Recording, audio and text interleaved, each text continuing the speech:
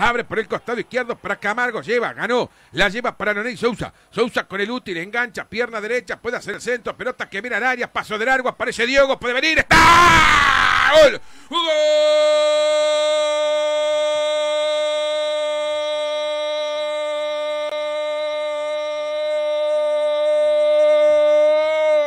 Plaza Diego.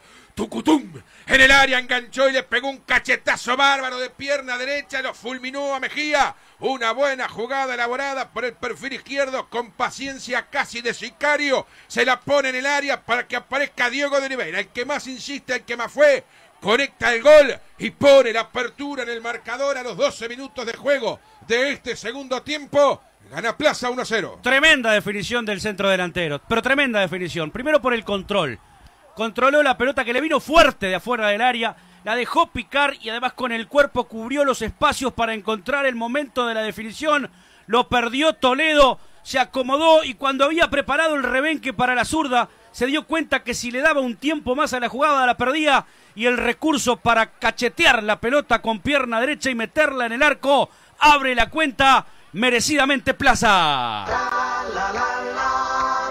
Informe.